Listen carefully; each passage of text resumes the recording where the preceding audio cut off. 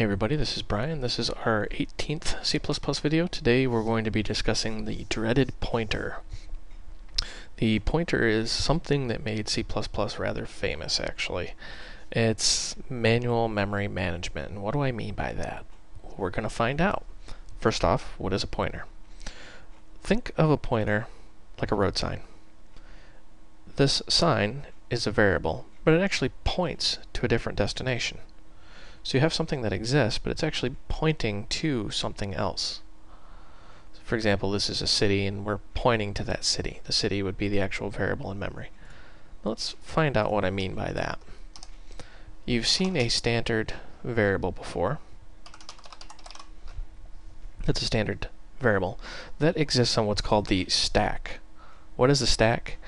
Well, when your program's executing, the current execution, this code block, is the stack. There's also something called the heap or the free store, which is your memory in your computer. You can create a variable in C++ that exists on this, the heap out in memory somewhere. And this is how you do that. You put a star in front of the variable name.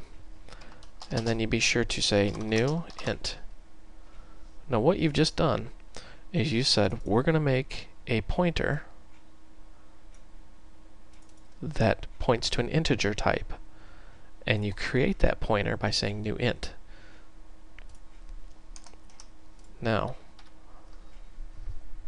what have we done? I want you to really think about this. We've created a pointer that points to another location. So if we say oops, m number equals 2. What do you think is going to happen here? Go back to the road sign analogy. Let's just run this. It says, oh, there's an error. It says, cannot convert from int to int star. What does int star mean? int star means int pointer. Cannot convert from an integer to a pointer. They're two different things. It looks like an int, but it's not an int. It's a pointer to an integer. The integer, remember, is out in memory somewhere. To prove that, let's actually do a cout m number and an end L behind it.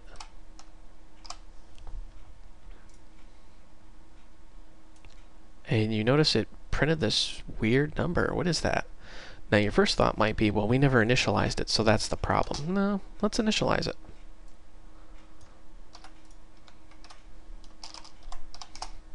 So now we've initialized it. We've got a pointer number equal to see it's got some funky number here still.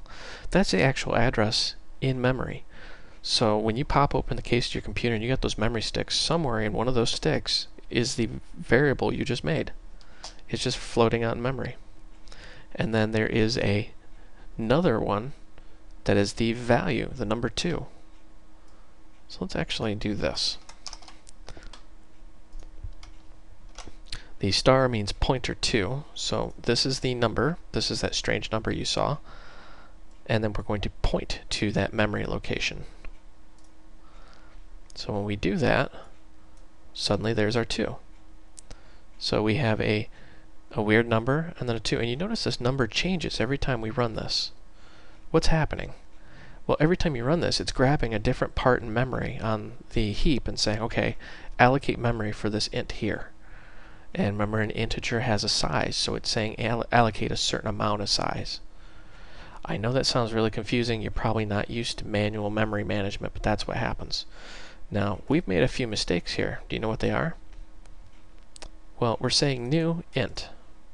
So out on the heap, or the free store, we're creating a new integer, placing it in memory, and just leaving it there. Well, we haven't deleted it. That's called a memory leak every time you run this program, you're creating a new variable, or I'm sorry, a new value, throwing it out in memory and leaving it there until the program executes. That's called a memory leak. To fix that,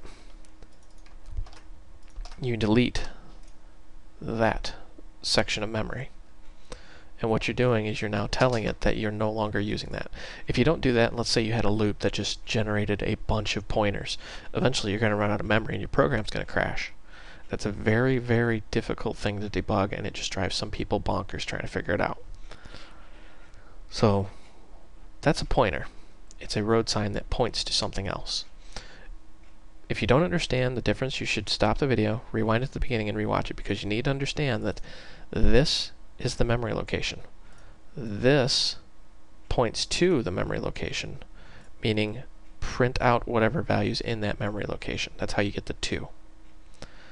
To kind of solidify this, we're going to say void test, and we want a, whoops, int,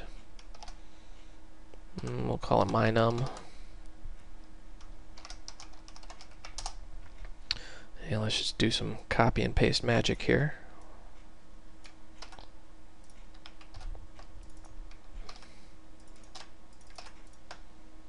And we'll say, whoops. It's my gaming mouse, just hit the wrong button on there.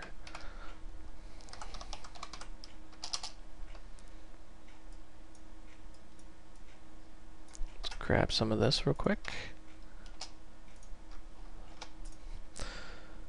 And what we're going to do is we're going to pass this to this function. Now remember, the signature of this function, or the prototype, says that it takes a pointer to. So if you just try to pass star 2, or sorry, star number, what do you think is going to happen? Well, you get an error message. Why? the infamous cannot convert to pointer. It's because you're trying to access or point to that memory location. It's asking for a pointer. So you give it the memory address, the pointer, and then suddenly it works fine. You see there's our first one. That's the memory address. There's the value at that address. And then we enter the test function. There's mynum and there's the address. You notice it's the same address. And then the pointer to mynum is actually 2. That's the value you stored in the address. And you see, they're exactly the same. Confusing topic? I know. Now, why do you need this? That's something that always frustrated me about different books. Why do you need pointers to begin with? What use is it? We've already learned you can pass by value and reference. We don't need pointers. Well, remember back to the stack and the heap conversation we just had when we get into object-oriented programming, you will make an object, throw it out in memory somewhere, and then your code will jump into a different execution context or a different stack. And what happens with that is you need to still reference that variable you threw out in memory. I know that sounds really confusing, but we're going to cover this in the next couple tutorials. So that is pointers. Uh, I know it's confusing. I'm sorry. Um, it's one of those rites of passages you have to learn to progress with this language. C++ is all about memory management. And the reason why is because it is incredibly, incredibly fast. Um, certain languages like Java, uh, Python, Visual Basic, C Sharp, they do um, what's called garbage collection, meaning they still do this under the hood, but it's all automated for you. The problem with that is they do what's called garbage collection, which means at some point they have part of their framework goes in memory and cleans it up. And it's not perfect. Sometimes they'll delete things you're still using, and it can slow your program down. This is Brian. I hope you found this video educational and entertaining, and thank you for watching.